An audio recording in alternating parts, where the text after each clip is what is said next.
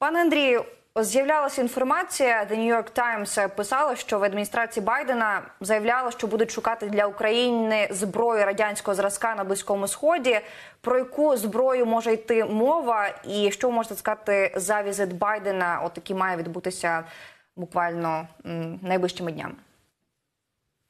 Ну, дійсно так, така інформація була. Я думаю, що вона має під собою базу, сенс. Дійсно, ми очікуємо візит президента Сполучених Штатів Америки до, до, до Сходу, до Близького Сходу. І, в принципі, наскільки відомо, основна позиція там буде обговорення перспектив а, а, нафтового ринку. Тому що можливо буде то, та, та ж сама ситуація, яка була в 80-ті роки, коли Радянський Союз значить, вторгся до Афганістану, і тоді, завдяки тому, що Сполучені Штати домовились з Саудівською Аравією, вдалося значно знизити вартість нафти. Я думаю, те ж саме ми можемо спостерігати і зараз. Багато існує зараз прогнозів, чи буде це е, дійсно ефективно чи ні. Ну для Росії, звичайно, якщо ціна нафти впаде, то це буде дуже ефективно, тому що щодня вони мають на е, іменно на експорті нафті порядка мільярда доларів щодня, і це дозволяє їм вести в тому числі і бойові дії е, в Україні.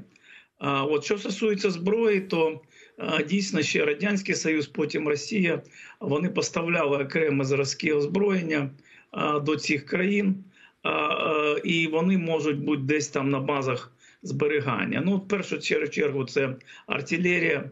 Е, Вона нам потрібна. Калібри 152, 122 мм дуже відомі, як артилерійські установки, так і, і боєприпаси до них, тому що у нас е, їх досить багато.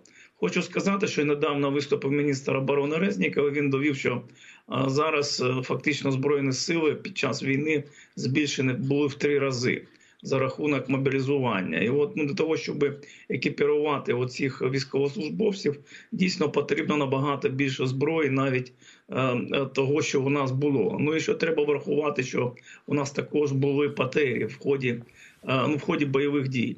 По-друге, це бронетехніка. По бронетехніці ми знаємо ці позиції. Нам вже е, дещо допомогли наші е, сусіди по Європі. Найбільшою такою допомогою була польські 200 танків Т-72. Але їх також потрібно більше, тому що лінія фронту дуже велика, і Росія зараз вона використовує такий метод Другої світової війни. В общем-то, такі от вогняна навала така, і це потрібно. Система ППО. У нас система ППО досить така потужна, дійсно потужна, але ну, опять же, її основу це радянські системи, комплекси С-300, БУК, і до них також потрібні і ракети, і самі комплекси. Ну, літаки, вертольоти, про це ми знаємо з перших днів е, цієї війни. Окрема допомога була, але ну, їх потрібно більше. Ну і стрілковий боєзапас, тому що у нас ну, при наявності мільйона військовослужбовців цього стрілкового боєзапасу до радянських систем е, зброї потрібно дуже дуже е, багато. Але ну я скажу, що в будь-якому випадку е, перспективою наших і майбутніх нас збройних сил є якраз зразки західні. І я і вони дуже себе позитивно зараз показують. Я думаю, що після закінчення війни основу бойового потенціалу збройних сил якраз будуть е, складати оці зразки. От, е, от, от, от така от ситуація. А і ще хочу додати, що ну я подивився, наприклад, Збройні сили Саудовської Аравії. Зараз у них е, на 60% зброя це виробництво Сполучених Штатів Америки. Інше це, це європейська або китайська, або бразильська зброя. Ну, радянської зброї у них ну, в використанні вже немає взагалі. Ну, я думаю, що є якась інформація то про те, що якась радянська зброя дійсно є на складах, і ну, можливо, якимось чином її а, застосувати якраз для потреб України. От я думаю, що от про це і буде якраз розмова.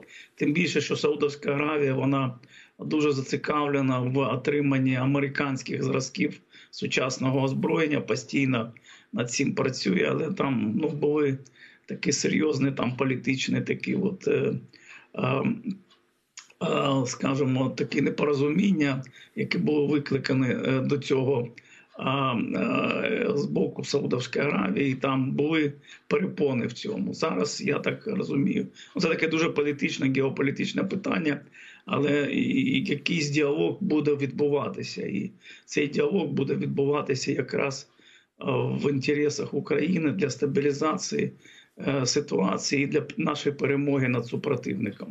Пане Андрію, і хотіли б також поговорити про питання, які стосуються акваторії Чорного моря. Те, що всіх хвилює українців, тому що це прямо впливає на всю Україну, на всю державу, адже нині поки не розблоковані, на жаль, торгові шляхи морські. Через це Україна не може вивезти зерно, через це страждає українська економіка. Це відчуває кожен українець. А от якщо поговорити про острів Зміїний, як е, ну по суті, е, той дуже важливий е, форпост.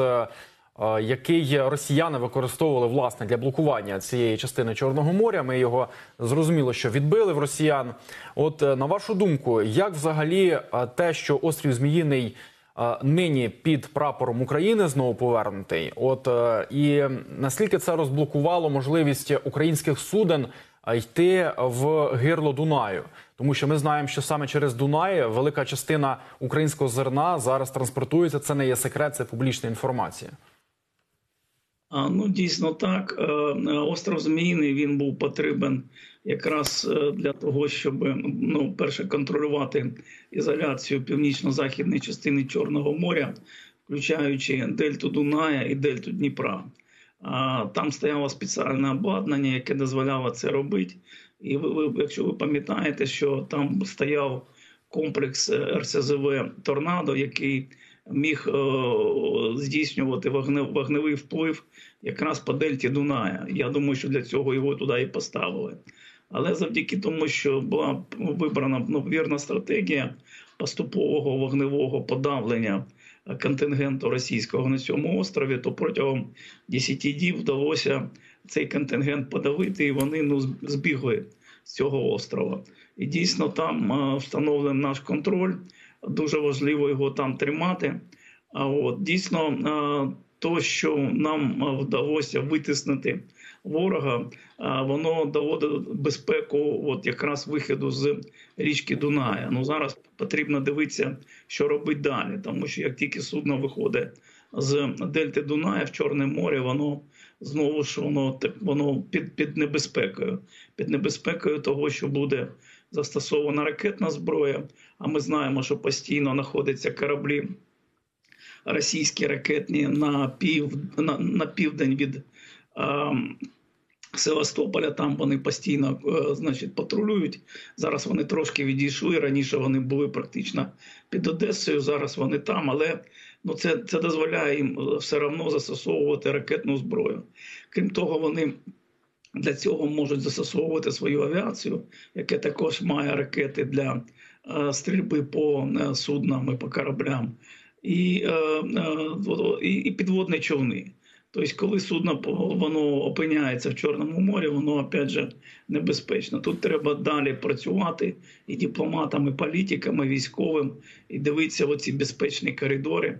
Але дійсно те, що ми ну нам вдалося от небезп... у, у, у, забезпечити безпеку от Дунаю і виходу, дозволяє нам зараз акумулювати ну запаси зерна в наших дунайських портах. От їх треба також охороняти, але ну це вже е, якийсь шлях для для до вирішення е, завдання. Тобто, якісь поставки можуть бути і по Дунаю туди, ну в сторону Європи. Ну щось ну, ну, ну, ну в принципі, та кількість зерна вона все одно примусує нас е, е, транспортувати його через пролів Босфор. І от тут от найбільша загроза. Ми знаємо і про мінну небезпеку тому що міни фактично зараз дуже часто з'являються і біля наших берегів, біля Одеси. Минулого тижня була знешкоджена як мінімум одна міна біля Одеси. Пляжі закриті, тому що небезпечно купатися для людей, і і ще більш небезпечно проходження суден там. Тобто, оці, оце питання вони вони потребують додаткової обробки. Але однозначно, то що зміни під нашим контролем це дуже позитивно. Це крок вперед до деблокади Чорного моря і відновлення судноплавства, яке так потрібно нашій державі. Пан, пане Андрію, а от ви сказали про підводні човни росіян і те, що вони їх дійсно зараз виводять в акваторії Чорного моря, і що вони можуть застосовувати їх для ударів по українській території. Е, На жаль, це відомий факт, що Україна зараз не має жодного підводного човна на озброєнні. Був лише от один Запоріжжя, який в 2014 році Україна втратила. Скажіть, на вашу думку, от щоб був цей паритет, так щоб е, українські також субмарини були в Чорному морі і могли б е, запускати торпеди по російських е, кораблях і субмаринах. На вашу думку, яким шляхом може піти Україна? І наскільки взагалі це на часі і є така потреба? Адже ми знаємо, що, от, наприклад, є дуже такі вдалі рішення сучасні італійські субмарини. Я не лобіюю, але це об'єктивний факт, що це дуже вдалі. Вони невеликі субмарини італійські серії DG. Е, Якщо не помиляюсь, там є найменші там взагалі розраховані на двох-чотирьох е, людей е, для спеціальних груп, можливо, для сил спеціальних операцій, які здатні запускати торпеди. Ну, перш за все, хочу сказати, що північно-західна частина Чорного моря вона мілка. Тобто, якщо ви проведете лінію від устя Дуная до миса Тарханкут на Кримському півострові, все, що буде наверх, то це глибини до 200 метрів. Там, от е, ці російські підводні човні, човни типа е, кіло, імпровд кіло 636.3, вони там не працюють. Таких човнів потрібно глибини понад 200 метрів. Вони можуть обмежено працювати на глибинах від 50 до 200, але ну е, там дуже мілка зона. А ці човни вони представляють загрозу якраз центральної частини Чорного моря, де глибини вже дозволяють їм діяти. Для боротьби з цими е, підводними човнами у нас дійсно спроможності недостатньо. Е, зараз є е, наша авіація. Морська авіація, вона в основному якраз призначена для боротьби з підводними човнами, але через те, що росіяни мають перевагу в повітрі, особливо в винищувачах і в системах ППО, то використання цієї авіації воно дуже обмежено, фактично його немає.